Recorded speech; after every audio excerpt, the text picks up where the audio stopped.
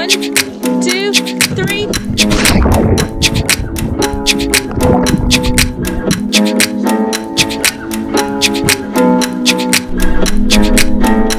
Marched all the way over the Pretty warm today. We're just heading off now in the van up to the Skirrid for a bit of a hike.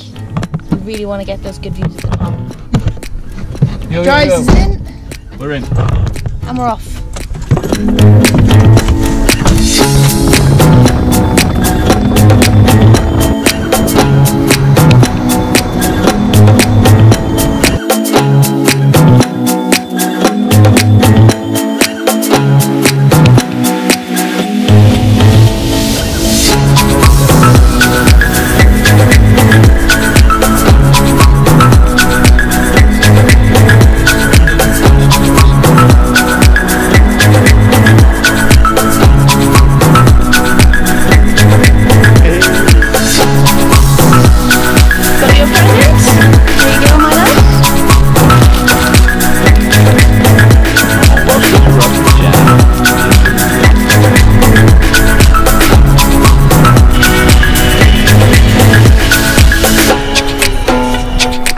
This is absolutely Yain's neck of the woods. About 20 minutes from his house, and this little mountain's got a bit of history behind it, so he's going to give us a history lesson as well. As we go. It's pretty warm today, and for those who are worried about the dogs, I was I was considering not taking them, but Yain assured me that it should be fine. We've got two litres of water for them. Most of this hike is in the shade, and we've got a keen eye on their welfare. So Yeah, it's fine. These doggies are made for running, uh, and we take them out in the heat all the time. It's not a big deal. Um, if they did start to get overly hot and start panting, we could take them back down pretty easy. And I got plenty of water to pour all over them, so no big deal. Very good.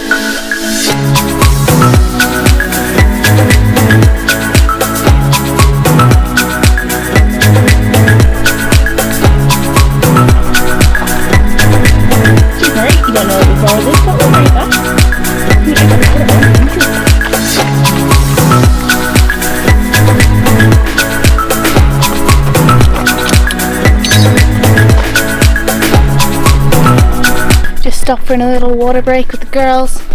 Just gone through all this forest. There's Yai. Bringing up the rear.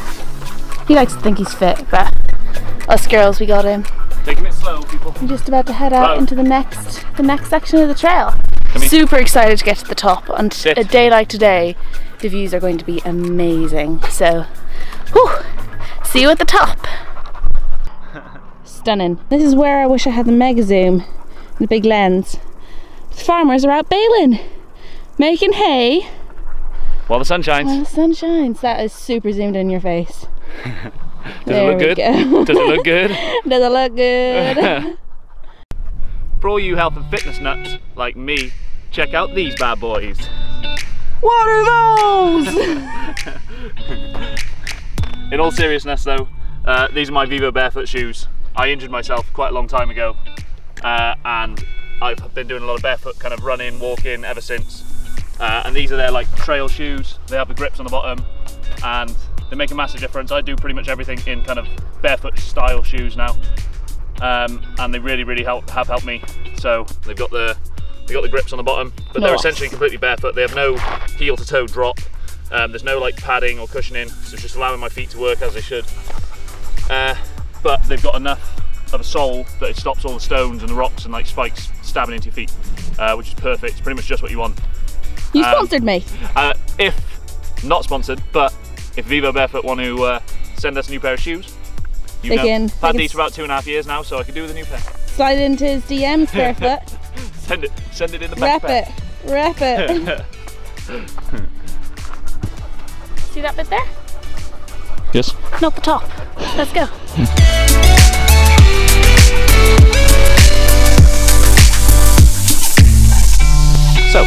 story time with your host, Ian Jones. That's me. This is the Skirrid we're walking up today. Check out the views. What do you mean this? Check out the views. But did you know this mountain is also called the Holy Mountain? after the crucifixion of Christ.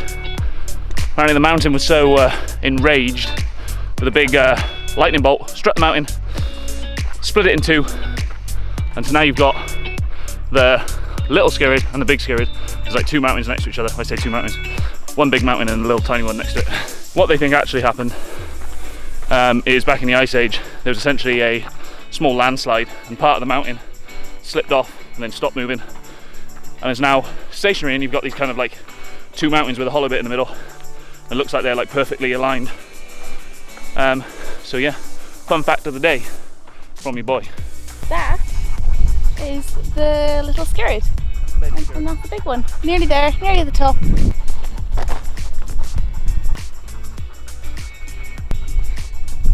Would you look at that?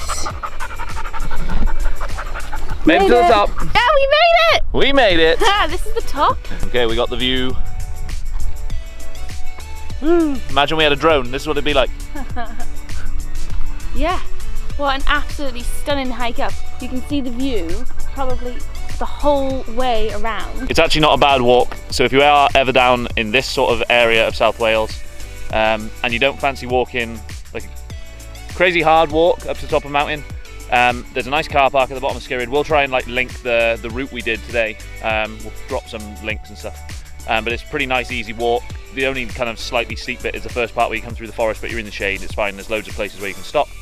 Um, and then you've just got this kind of walk to do at the end, which is nice and flat. And you get to the top, and it took us what?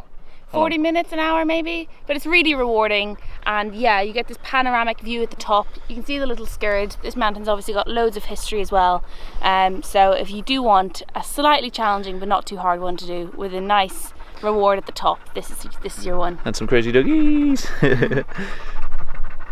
yeah, I hope you enjoyed it. Um, we'll uh, yeah we'll link the route in the bottom. You can see all the mountains over there. So that's all of the Black Mountains. Me and Heather have done a bunch of hiking.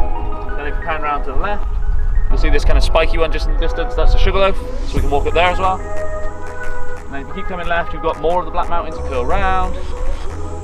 And then if you do a full circle, all, all the way over here, my house is just over there, just at the bottom of one of those hills. Mm. Quick snack. I love the countryside but stuff like this needs to stop people take the dogs out decide to seal up their poo and just leave it in places like this. It's just not on mate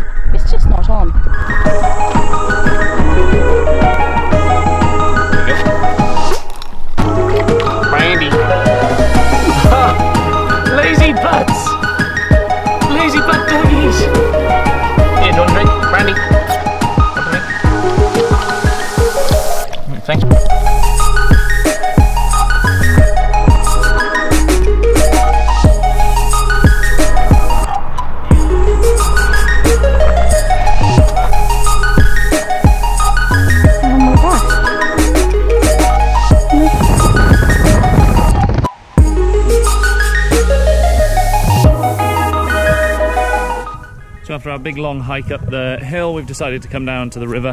This is my local river. This is the River Monnow. Uh, it's just down the road from the house. So we thought we'd come down and have a splash. We've got some of the guys, rest of the guys from the family down here. Uh, so me and Heather brung the two doggies because they needed to get in the water, cool down after the after the big old climb up the hill earlier. So we thought we'd come down for a splash around and a swim. Have a nice cool off before we drive back because we've got to get ready for work. Well, Heather's got to get ready for work. 对。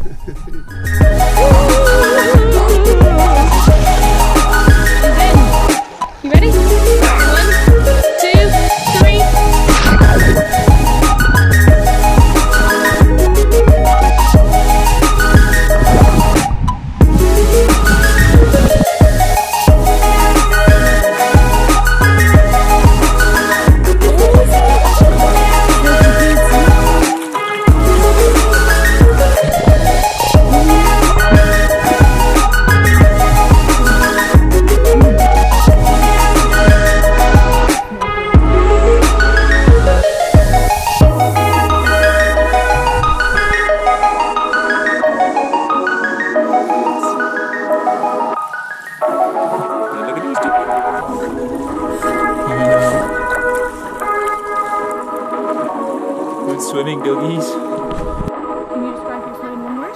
Uh, fresh. yeah, we just finished having a nice little swim in the river. Got the dogs nice and wet. Exactly what we needed after climbing the Skirrid this morning to cool down. So yeah, it was lovely. Yeah, the doggies had a nice little swim. We're uh, that's pretty much us for today. Uh, we're just going to head back now. We've got to get back for work. Heather's got to get ready for work tomorrow. But Stay tuned for the game fair next week. We've got a stall. So all next week, Yan's going to be getting ready to head down next weekend. yeah, we're heading down to the game fair next weekend.